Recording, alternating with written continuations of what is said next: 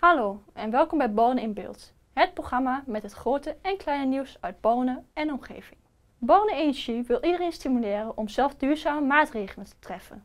We hebben een overeenkomst gesloten met Born Energie.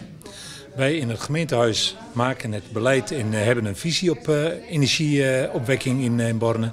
En Borne Energie die helpt ons daarmee, met, en niet alleen ons, maar ook inwoners van Borne die samen iets willen maken, een zonnepark of iets dergelijks. En, en, die kunnen zij, en zij kunnen daar behulpzaam bij zijn. Dat doen we niet allemaal vanuit het gemeentehuis, maar dat doen zij voor ons en voor de inwoners. En dan heb ik ook een, een aantal namen van projecten horen vallen. onder andere B1 en Winst voor Buren. Kunt u mij vertellen, kunt u mij daar wat meer over vertellen?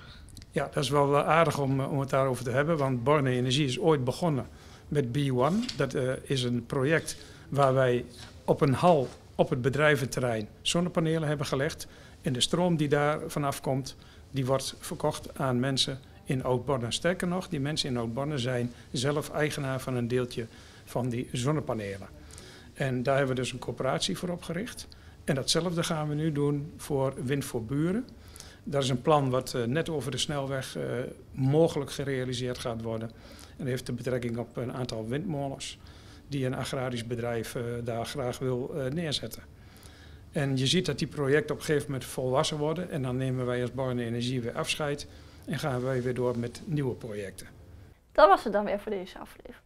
Wil je graag ook de nieuwe foto's en video's van RTV Bonne zien? Volg ons dan op facebook.com slash en via de website www.boneninbeeld.nl. Wil je graag een keer meekijken met de opnames van Bonen in Beeld? Neem dan contact met ons op.